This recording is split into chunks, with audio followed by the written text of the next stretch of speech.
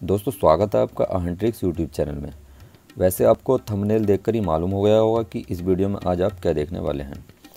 आज मैं इस वीडियो में आपको बताऊँगा एक ऐसी टैबलेट के बारे में जो महिलाओं के लिए उपयोग करनी कब बहुत ज़रूरी हो जाती है। यानी मैं इस वीडियो में रिव्यू एम टैबलेट्स का करूँगा। इस टैबलेट का उपयोग कब किया जाता है? इन टैबलेट का उपयोग करने से आपको किन समस्याओं से छुटकारा मिल सकता है? इसकी कितनी टैबलेट एक दिन में आपको लेनी चाहिए? यानी कि इसकी एक दिन की डोज कितनी होती है? इस टैबलेट के उपयोग से आपकी सेहत पर क्या असर पड़ेगा? ये सब मैं आपको इस वीडियो में बताऊँगा। कुछ लोगों का सवाल ये भी होगा कि इसके साइड इफ़ेक्ट्स तो नहीं होंगे, ये सब मैं आपको इसी वीडियो में बताऊँगा। अगर आप ये सब देखना चाहते हैं तो वीडियो को आखिर तक देखना, वरना आप वीडियो को लेफ़्ट भी कर सकते हैं। दोस्तों, चैनल को सब्सक्राइब कर देना और साथ में बेल आइकन का बटन प्रेस कर देना, जिससे आपको आगे आने वाली वीडियो का अधिसूचना सबसे पहले मिल सके। चलिए वीडियो में आगे बढ़ते हैं। मेरा नाम शुएब रजा खान। जब महिलाओं को महामारी, जिसको हम लोग मासिक धर्म या एमसी यानी इंग्लिश में इसको मैंस्ट्रुअल साइकिल बोलते हैं तो महिलाओं को बहुत समस्याओं का सामना करना पड़ता है। इस महामारी की वजह से शरीर के कुछ अंदरूनी हिस्सों में असहन या दर्द होता है, जिसके बचाव के लिए इन टैबलेट का उपयोग किया जाता है।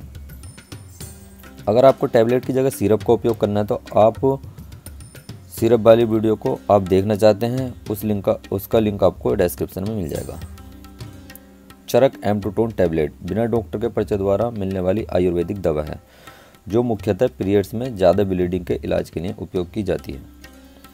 इस टैबलेट के इंग्रेडिएंट यानी घटक की बात करें तो इसमें अबरक भस्मा टेन एम और मंडूर भस्मा टेन एम मंगर भस्मा टेन एम जी सतवड़ी टेन एम कमल चालीस एम जी देवदार ट्वेंटी एम जी सौंठ ट्वेंटी एम जी और जी लोद हंड्रेड एम जी खास चालीस एम जी आंवला ट्वेंटी एम जी और ताल मखाना ट्वेंटी एम जी और भी बहुत से इंग्रेडिएंट्स होते हैं इसमें। आप ये सब टैबलेट के रैपर पर भी देख सकते हैं।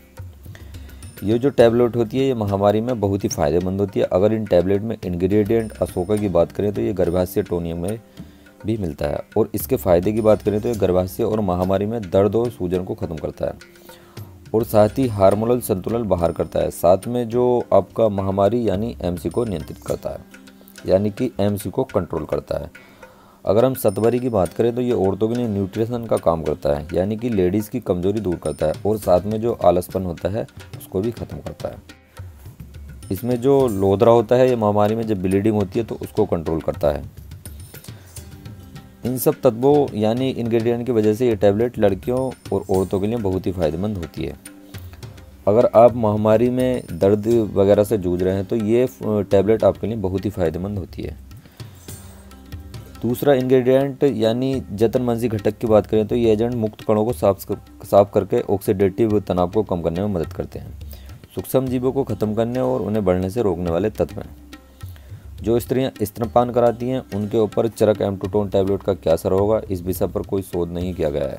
इसके चलते पूर्ण जानकारी मौजूद नहीं है। दवा को लेते समय डॉक्टर की राय लेना बहुत ज़रूरी है।